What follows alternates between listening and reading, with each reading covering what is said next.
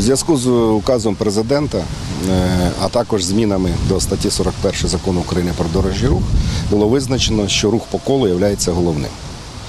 Е, На даний момент е, управлінням патрульної поліції спільно з Ужгородською міською радою розробляється відповідна схема організації дорожнього руху щодо встановлення відповідних дорожніх знаків, які б регламентували рух по колу як головним. Станом на сьогодні, е, за повідомленням Ужгородської міської ради, виготовляються відповідні дорожні знаки, які планується встановити в неділю зранку, і в неділю зранку буде запущений рух по колу як головним.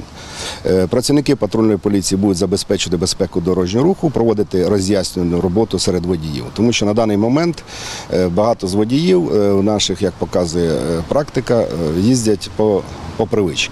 Ну, тобто, як їздили. На даний момент на двох уже колових розв'язках вже введені організація дорожнього руху по колах. Це площа Длаборця і круговий рух на, е, на Феденця Панаса Мирного. Інформування вже проводиться е, порядка з введення е, в- в дію указа. І з дня опублікування, тобто управлінням патрульної поліції проводиться така роз'яснена робота. На даний момент е, рух здійснюється відповідно до встановлених даних дорожніх знаків.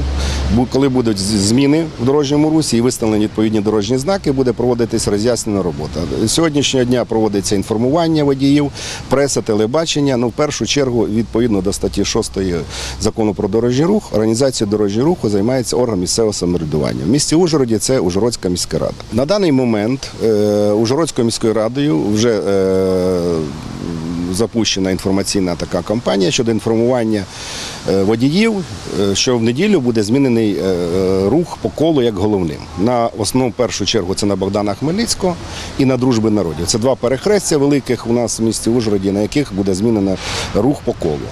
Е, Нами сьогодні повідомлено повідомлення до Жородської міської ради, що в неділю будуть встановлені відповідні дорожні знаки. З боку управління патрульної поліції буде забезпечена безпека дорожнього руху, направлені додаткові наряди поліції, в першу чергу для інформування.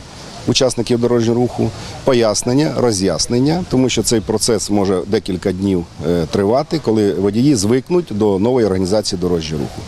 Е, перші дні е, не буде предвзято якесь відношення до водіїв, буде просто проводитись роз'яснена робота. До того, як ми побачимо, що водії вже звикли до нової організації дорожнього руху. Тобто буде лояльне відношення до цього питання, тому що всі розуміємо, що водії повинні привикнути. У нас як місцеві водії, так у нас є багато туристів, є із Ужгородського району, з інших населених пунктів, які заїжджають у місто Ужгород, тому буде інформування. Я думаю, що буде це як мінімум не менше тижня проводитись робота, тому що е, це е, серйозні зміни в організації дорожнього руху. Такі організації зміни проводяться по всій Україні і по Закарпатській області в населених пунктах.